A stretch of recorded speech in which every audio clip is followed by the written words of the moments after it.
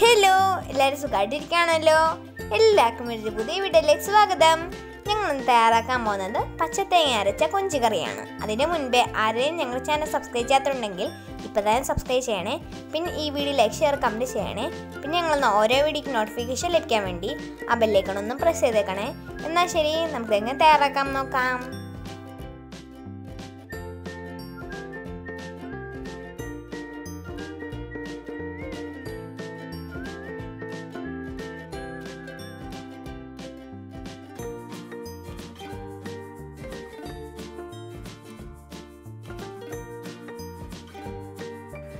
ഈ കൊഞ്ച് കറി തയ്യാറാക്കാൻ വേണ്ടി ഞാൻ കാൽ കിലോ ക്ലീൻ ചെയ്ത് കൊഞ്ചെടുത്തിട്ടുണ്ട്.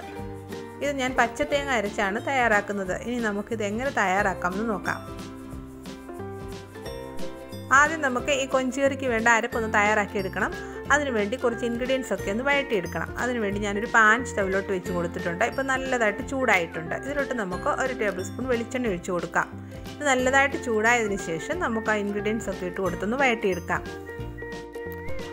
എണ്ണ നല്ലതായിട്ട് ചൂടായിട്ടുണ്ട്. ഇതിലോട്ട് ചെറുതായി അരിഞ്ഞു വെച്ചിരിക്കുന്ന ചുവന്നുള്ളി ചേർത്ത് കൊടുക്കാം. രണ്ട് ടേബിൾ സ്പൂൺ ചുവന്നുള്ളി അരിഞ്ഞതെടുത്തിട്ടുണ്ട്. കനം കുറച്ച് നീളത്തിൽ അരിഞ്ഞെടുത്തതാണ്. ഇനി ഇതിലോട്ട് അര ടീസ്പൂൺ വെളുത്തുള്ളി കനം കുറച്ച് നീളത്തിൽ അരിഞ്ഞത് ചേർത്ത് കൊടുക്കാം. ഇനി ഇതിലോട്ട് അര ടീസ്പൂൺ ഇഞ്ചി ചെറുതായിട്ട് അരിഞ്ഞതും കൂടെ ചേർത്ത് കൊടുക്കാം.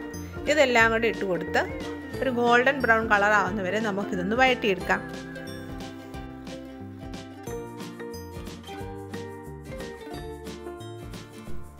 ഇതിന്റെ കളറൊക്കെ നല്ലതായിട്ടൊന്ന് ചേഞ്ച് ആയിട്ടുണ്ട്. ഇനി നമുക്ക് ഇതിലോട്ട് ജീരകവും ഉലുവയും കടുകും കൂടി ചേർത്ത് കൊടുക്കാം.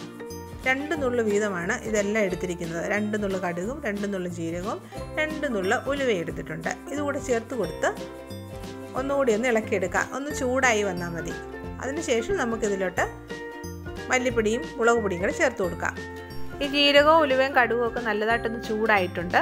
നല്ലതായിട്ടൊന്ന് ചൂടായി വന്നാൽ മതി. ഇനി ഇതിലോട്ട് നമുക്ക് രണ്ട് ടീസ്പൂൺ മല്ലിപ്പൊടി ചേർത്ത് കൊടുക്കാം. ഇനി ഇതിലോട്ട് ഒന്നര ടീസ്പൂൺ മുളക് പൊടിയും കൂടെ ചേർത്ത് കൊടുക്കാം. ഞാൻ കാശ്മീരി ചില്ലി പൗഡറാണ് ഇവിടെ ചേർത്ത് കൊടുത്തിരിക്കുന്നത്. ഇതെല്ലാം ചേർത്ത് കൊടുത്തതിന് ശേഷം ഇതിന്റെ പച്ചമണം പോകുന്നവരെ നമുക്കിതൊന്ന് വഴറ്റിയെടുക്കാം. ഇപ്പോൾ ആ മല്ലിപ്പൊടിയുടെ ആ മുളക് പൊടിയുടെ ആ പച്ചമണമൊക്കെ നല്ലതായിട്ടൊന്ന് മാറിയിട്ടുണ്ട്. ഇനി നമുക്ക് ഇതിലോട്ട് തേങ്ങ ചേർത്ത് കൊടുക്കാം. ഞാൻ ഒരു കപ്പ് തേങ്ങ ചിരുക്കിയത് എടുത്തിട്ടുണ്ട്. ഇതുകൂടി ചേർത്ത് കൊടുത്തിട്ട് നല്ലതായിട്ടൊന്ന് ചൂടാക്കി എടുക്കാം ഇത് കൂടുതലായിട്ടൊന്നും മൂപ്പിച്ചെടുക്കേണ്ട കാര്യമില്ല. നല്ലതായിട്ടൊന്ന് ചൂടാക്കി എടുത്താൽ മതി.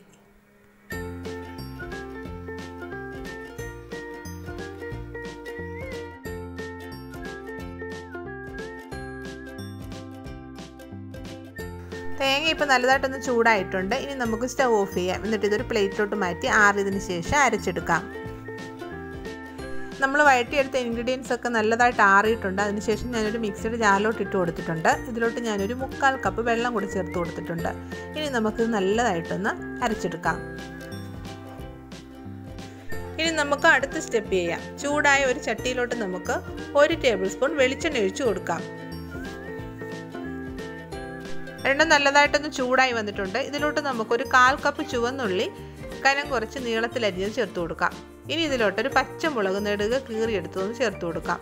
ഇനി ഇതിലോട്ട് കുറച്ച് കറിവേപ്പയും കൂടെ ചേർത്ത് കൊടുക്കാം. ഇനി ഇതിലോട്ട് ഒരു അര ടീസ്പൂൺ ഇഞ്ചി നീളത്തിലരിഞ്ഞതും അര ടീസ്പൂൺ വെളുത്തുള്ളി നീളത്തിലരിഞ്ഞതും കൂടി ചേർത്ത് കൊടുക്കാം. ഇതെല്ലാം കൂടെ ചേർത്ത് കൊടുത്തിട്ട് അതിന്റെ പച്ചമണം പോകുന്നവരെ നമുക്ക് ഒന്ന് വഴറ്റിയെടുക്കാം. ഈ ഉള്ളി ഇഞ്ചിയും പച്ചമുളകും ഒക്കെ നല്ലതായിട്ടൊന്ന് വാടി വന്നിട്ടുണ്ട്. ഇനി നമുക്ക് ഇതിലോട്ട് നമ്മൾ പേസ്റ്റ് പോലെ അരച്ച് വെച്ചിരിക്കുന്ന ഈ അരപ്പൊന്ന് ചേർത്ത് കൊടുക്കാം. അരപ്പിട്ട് കൊടുത്തിട്ടുണ്ട്. ഇനി ഈ അരപ്പ് നമുക്ക് നല്ലതായിട്ടൊന്ന് ചൂടാക്കി എടുക്കണം.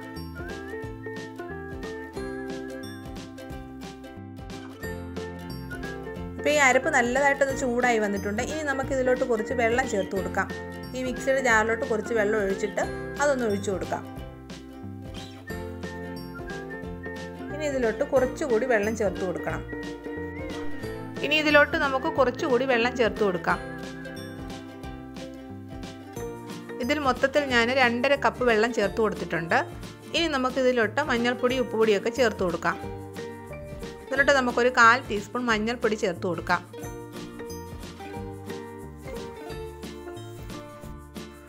ഇനി നമുക്കിതിലോട്ട് ഒരു ടീസ്പൂൺ ഉപ്പുപൊടി ചേർത്ത് കൊടുക്കാം. ഇനി നല്ലതായിട്ടൊന്ന് മിക്സ് ചെയ്തെടുക്കാം. അതിനുശേഷം ഇതിലോട്ട് നമുക്കൊരു ടൊമാറ്റോ കൂടി ചേർത്ത് കൊടുക്കാം. ഒരു ടൊമാറ്റോ ഞാൻ നീളത്തിൽ കട്ട് ചെയ്തെടുത്തിട്ടുണ്ട്. ഒരു മീഡിയം സൈസ് ടൊമാറ്റോ ആണ് എടുത്തിരിക്കുന്നത്. ഇത് കട്ട് ചെയ്തെടുത്തതോടെ ചേർത്ത് കൊടുക്കാം. ഇനി ഇതിലോട്ട് ഒരു കഷ്ണം തോട്ടുപുളിയും കൂടെ ചേർത്ത് കൊടുക്കാം. ഇതുകൂടി ചേർത്ത് കൊടുത്ത് നല്ലതായിട്ടൊന്ന് ഇളക്കിയെടുക്കാം. ഇനി ഇതൊന്ന് ചൂടായി വരണം. ചൂടായി വന്നതിന് ശേഷം നമുക്കിതിലോട്ട് കൊഞ്ചിട്ട് കൊടുക്കാം. ഇപ്പം ഇത് നല്ലതായിട്ടൊന്ന് ചൂടായി വന്നിട്ടുണ്ട്. ഇനി നമുക്കിതിലോട്ട് നമ്മൾ ക്ലീൻ ചെയ്ത് വെച്ചിരിക്കുന്ന കൊഞ്ചുണ്ടല്ലോ അതൊന്ന് ഇട്ട് കൊടുക്കാം. ഇട്ട് കൊടുത്ത് നല്ലതായിട്ടൊന്നുകൂടി ഒന്ന് ഇളക്കിയെടുക്കാം. നല്ലതായിട്ട് ഇളക്കിയെടുത്തതിന് ശേഷം അടപ്പ് വെച്ച് അടച്ച് നമുക്കിതൊന്ന് വേവിച്ചെടുക്കാം. ഇനി നമുക്കിതൊന്ന് അടച്ച് വെച്ച് കൊടുക്കാം. എന്നിട്ട് ഒരു ഏഴ് മിനിറ്റ് മീഡിയം ഫ്ലെയിമിലിട്ടൊന്ന് കുക്ക് ചെയ്തെടുക്കാം. അഞ്ച് മിനിറ്റ് കഴിഞ്ഞിട്ടുണ്ട് നമുക്കിതൊന്ന് തുറന്ന് നോക്കാം. ഇപ്പം എന്താ ഇതിന്റെ ഗ്രേവി കുറച്ച് കുറുകി വന്നിട്ടുണ്ട്. ഇനി നല്ലതായിട്ടൊന്ന് മിക്സ് ചെയ്തെടുക്കാം. എന്നിട്ട് ഉപ്പോ പുളിയോ എന്തെങ്കിലും ആവശ്യമുണ്ടോ എന്നൊന്ന് നോക്കാം. എന്തെങ്കിലും കുറവുണ്ടെങ്കിൽ നമുക്ക് ഈ സമയം ചേർത്ത് കൊടുക്കാം. ഒന്ന് ടേസ്റ്റ് ചെയ്ത് നോക്കാം. പുളി ആവശ്യത്തിനുണ്ട്.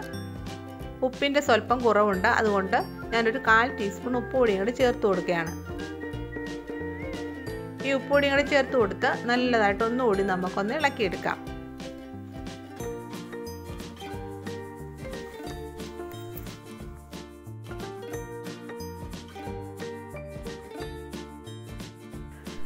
ഇനി ഇത് അടച്ചു വെച്ച് രണ്ട് മിനിറ്റ് കൂടി ഒന്ന് വേവിച്ചെടുക്കാം.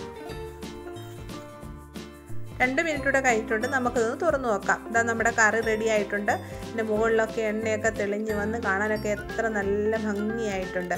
ഇതാണ് പരുവം. ഇനി നമുക്ക് സ്റ്റവ് ഓഫ് ചെയ്യാം. എന്നിട്ട് കടുക് താളി താളിച്ചൊഴിക്കാം. നല്ല ടേസ്റ്റി ആയിട്ടുള്ള കറിയാണ്. എല്ലാവരും ഇതൊന്ന് ട്രൈ ചെയ്ത് നോക്കണം. കടുക് താളിക്കാൻ വേണ്ടി ഞാൻ അര ടീസ്പൂൺ കടുക് എടുത്തിട്ടുണ്ട്. രണ്ട് വറ്റൽമുളക് എടുത്തിട്ടുണ്ട്. ഒരു തണ്ട് കറിവേപ്പില എടുത്തിട്ടുണ്ട്.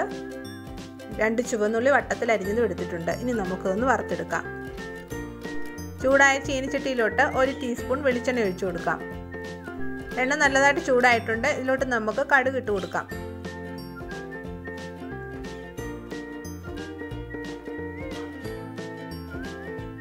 കടുക് നല്ലതായിട്ടൊന്ന് പൊട്ടിയിട്ടുണ്ട്. ഇനി നമുക്കിതിലോട്ട് ഉള്ളിയും കറിവേപ്പിലയും കറ്റൽമുളകും കൂടെ ചേർത്ത് കൊടുക്കാം.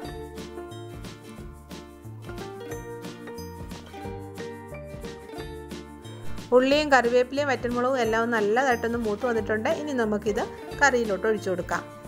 അപ്പോൾ നമ്മുടെ ടേസ്റ്റി ആയിട്ടുള്ള കൊഞ്ച് കറി തയ്യാറായിട്ടുണ്ട്. നിങ്ങൾ എല്ലാവരും ട്രൈ ചെയ്ത് നോക്കണേ. നിങ്ങൾക്ക് ഈ വീഡിയോ ഇഷ്ടപ്പെട്ടോ? ഇഷ്ടപ്പെട്ടെങ്കിൽ ലൈക്കും ഷെയറും സബ്സ്ക്രൈബ് ചെയ്യാൻ മറക്കരുത്. എന്നാൽ ശരി നമുക്ക് വേറൊരു പുതിയ വീഡിയോയിൽ കാണാം. ബായ്